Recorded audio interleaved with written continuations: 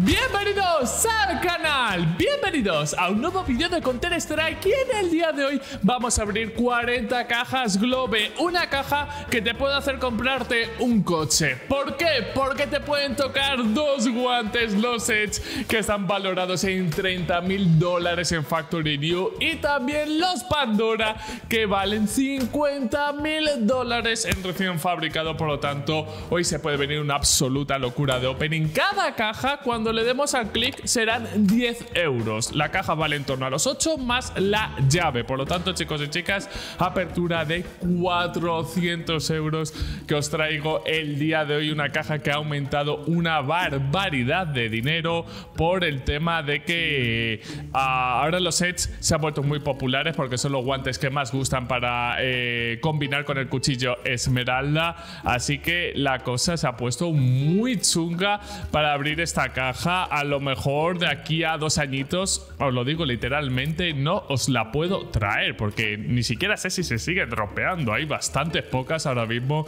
a disposición. Haré lo que pueda, chicos y chicas, así que vamos al lío. Como siempre, agradecería vuestro like y vuestro comentario en este tipo de aperturas tan heavy porque como sabéis que, eh, que toco unos guantes es muy complicado, una probabilidad entre 400, por lo tanto tenemos como un 10% de posibilidades de que nos toque el, eh, bueno, iba a decir el cuchillo, el objeto dorado. Pocos guantes me han tocado en toda mi carrera, pero hoy chicos y chicas he dicho, bueno, vamos a ver qué tal, ya que las cosas no me están saliendo muy bien últimamente, en algo tendré que tener suerte y estoy hablando de que me han baneado de Twitch, ¿vale? Bueno, este vídeo lo estoy grabando a día domingo, no sé si ya habré subido vídeos a Twitter hablando de la resolución final o no, ahora estoy un poquito en la inopia, no sé qué pasará, pero eh, os comento así por encima lo que puedo decir a día de hoy. Uh, básicamente eh, todo fue por una ranked, ¿vale? Por una ranked jugando Valorant, en la cual eh, insulté bastante a pues una gente que estaba siendo bastante racista, la verdad. Eh, no me han dicho el clip exactamente, pero tengo recuerdos vagos. Yo, la verdad, soy la persona más tranquila del mundo y no me caliento eh, así de primeras. O si tengo un mal día, no lo pago con los demás, ¿no? Yo me caliento si hay alguien que, se está sobrando. Pues básicamente le dije cosas de las cuales eh, no me siento orgulloso, pero se las dije y al final dije, y no lo retiro. Pues ese no lo retiro es lo que ha hecho Twitch decida banearme indefinidamente. O sea, si hubiera dicho todo lo que dije sin esa parte, eh, me hubieran baneado pues a lo mejor 3, 14 días o me hubieran puesto solo una advertencia sin baneo. Pero al decir eso consideran que no me voy a retractar y que por lo tanto eh, el baneo está bien metido. Ah, hay mucha gente que me ha estado ayudando y vamos a ver qué ocurre.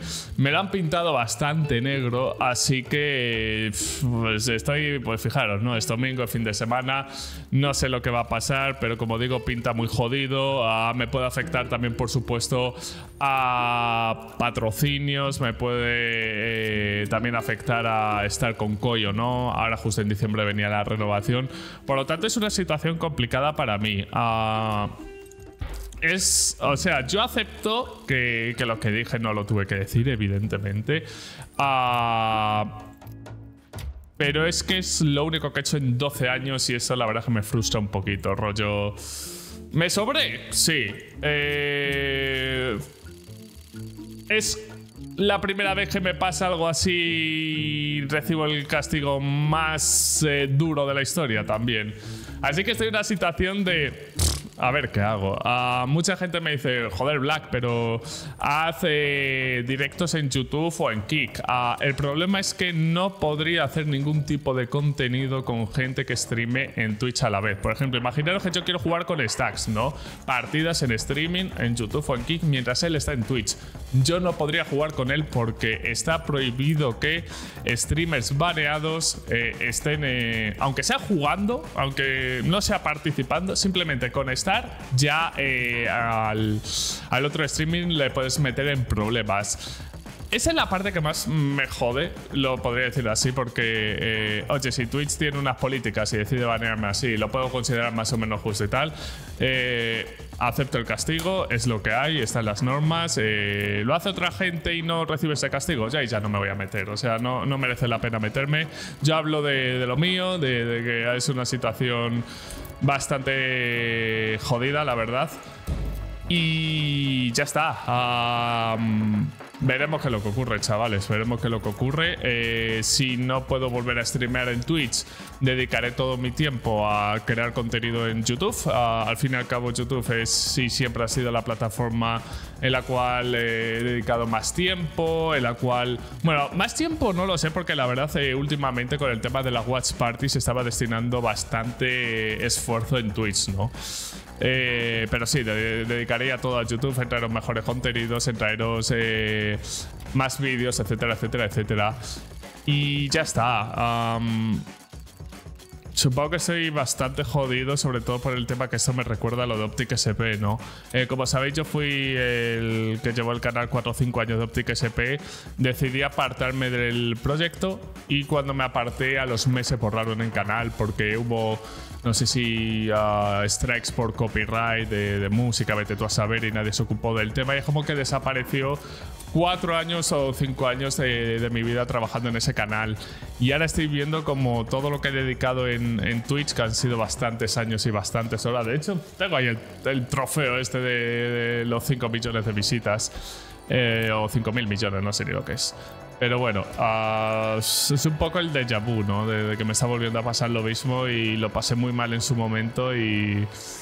vamos a ver qué pasa. Supongo que cuando pueda decir la resolución final la diré. Y hasta entonces a, esperar, a esperar. Eh, pues tampoco tengo suerte abriendo caja, chavales, ya no sé qué hacer. He dicho, bueno, vamos a ver si abriendo esta cajita que promete mucho me puede ir guay, pero, pero no, nada, nada.